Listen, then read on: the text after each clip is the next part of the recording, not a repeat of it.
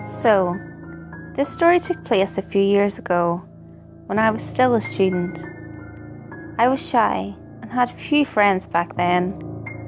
I also enjoyed being alone every single day.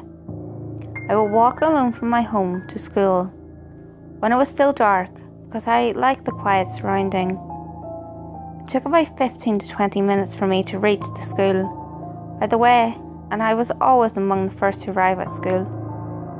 Oh, I always brought a pocket knife with me in case anything bad happened, and I also took self defense class as a precaution, but it proved to be totally useless in this story.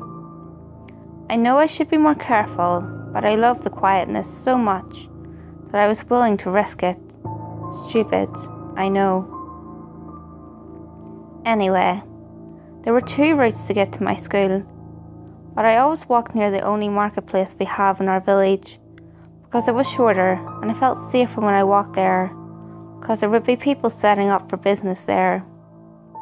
They would usually greet me when they saw me, so when I began noticing this one guy just staring at me whenever I walked past there, I didn't think much of it. In fact, I smiled when I made eye contact with him occasionally. I was just being polite. But then I began seeing him near the school, just sitting there on the bus stand, right next to the entrance of the school. I shrugged it off, because there was a small shop located not far from the school anyway.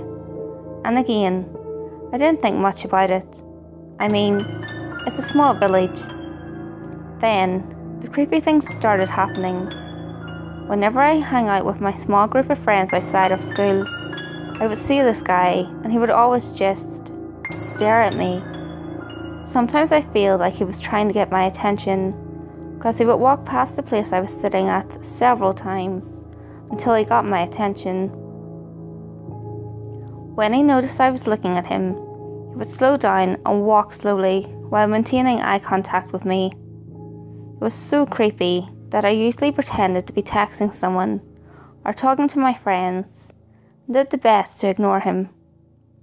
It made me feel so uncomfortable that I actually stopped going out for a while, and even if I did go out, I never strayed for more than an hour.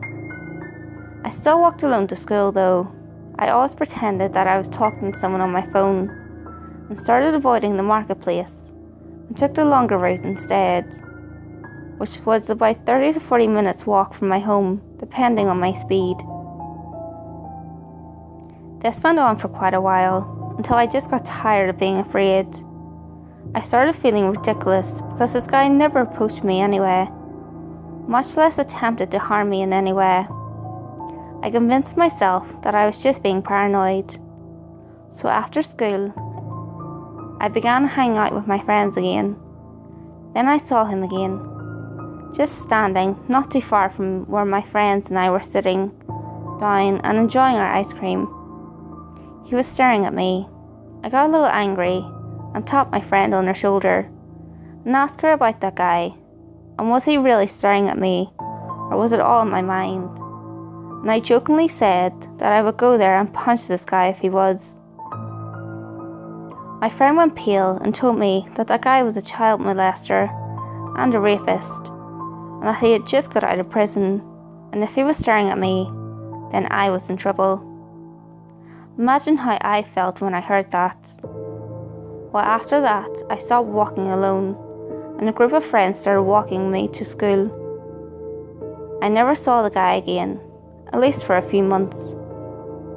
Then he was back. Only this time, he got braver, tried to talk to me when I was alone I ignored him, and I started getting really good at avoiding him. It only made him frustrated though, because one day, bastard actually started chasing me when he saw me walking with friends near the marketplace. I took off while my friends covered for me. I really feel like a shitty friend here. And while I get to safety, one of my best friends actually confronted the guy and asked him what he wanted from me. The guy told her that he only wanted to talk to me alone, that he wanted to let me know that he wasn't dangerous, and that he thought I was pretty. He actually told them that if he could have just a little time with me alone, then he would never bother me again. Man, that made me shudder.